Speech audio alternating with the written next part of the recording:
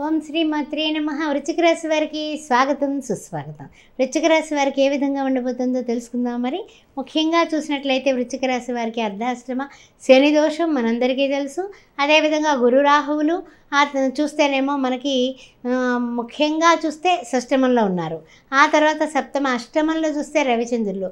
ఆరోగ్య కారకుడు. అంటే ఏమిటి? ఆరోగ్యం భాస్కరాదిచ్చేత్ అంటాం కదా. అదేవిధంగా మానసికమైనటువంటి అలజడి కారకుడు ఈ యొక్క చంద్రుడు ఇద్దరూ అష్టమంలో ఉన్నారు. అంటే శారీరక మానసిక అనారోగ్య పరిస్థితులు ఏర్పడడానికి కారకత్వం ఉంది. అందువల్ల జాగ్రత్తగా ఉండండి. అందుకే అంటుంటారు కదా చంద్రమా మనస్సో జాత సూర్యో అజాయత.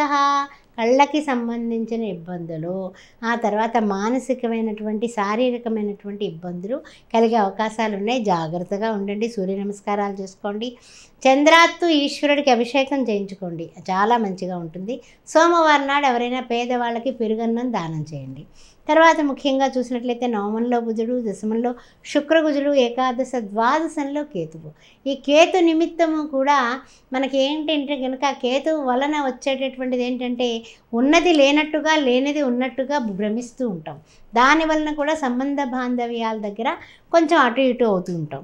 దానివల్ల కొంచెం కొన్ని కొన్ని విషయాలను జాగ్రత్తగా చూసుకోండి ఆచితూచి అడుగులు వేయండి. మిశ్రమ ఫలితాలు ఉండ ఉండేటటువంటి విషయం గోచారంలో రీత్యా కనపడుతోంది. విద్యార్థులారా రెండు మూడు కళాశాలలకు పెట్టండి. మరలా ఇంకా పర్వాలేదు టైం ఉంది కాబట్టి గట్టి ప్రయత్నమే చేయండి. అదే కాకుండా కుటుంబ వ్యక్తుల సహాయం సహకారం మీకు చాలా అవసరం అండి దానివల్లనే మీ యొక్క ఉన్నతి ఉంది. అందువల్ల ఇంట్లో వాళ్ళని బాగా గౌరవించి వాళ్ళతో అన్ని విషయాలు సంప్రదించి ముందుకు పెడితే మీకు విజయం లభిస్తుంది. నేను వెళ్ళొస్తా నేను చేసి వస్తా ఏం పర్వాలేదు అంటే కనుక ఎక్కడ వేసిన గొంగలు అక్కడే ఉండేటటువంటి కార్యక్రమం కనపడుతుంది. కొంచెం ఆ విషయంలో జాగ్రత్తగా ఉండండి. కాస్తంత ఆచితూచి ముందుకు అడుగులు వేయండి. అన్ని విధాలా మీకు యోగదాయకంగా ముందుకు వెళ్ళడానికి గాను ఈ వృశ్చిక రాశి వారు శనివారాలు చేయడమే కాకుండా ప్రతిరోజు ఓం సం శనిచ్చరాయ నమః పంతొమ్మిది సార్లు అనుకోవలసిందే ముందుకు వెళ్ళాల్సిందే అంతేగాని అది అనుకోలేదు అంటే కనుక ఆ పని ఆటంకమే అవుతుంది. జాగ్రత్తగా ఉండండి. ఎవరికైనా సరే ప్రతిరోజు ఐదు రూపాయలు బిస్కెట్ల ప్యాకెట్ అయినా పర్వాలేదు. ఓ బండొట్ అయినా పర్వాలేదు రెండు ఇడ్లీలన్నా పర్వాలేదు. ఎవరికైనా ఇవ్వడానికి పేదవారికి ఇవ్వడానికి ప్రయత్నం చేయండి. వారానికి కనీసం మూడు నాలుగు రోజులైనా దానం చేయండి.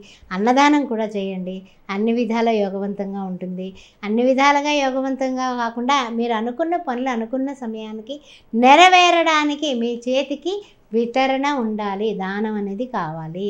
అందువల్ల మీరు ఇవన్నీ కూడా చేసుకుంటూ సంతోషంగా హనుమాన్ చాలీసా పారాయణ చేయండి. ఓం శ్రీమత్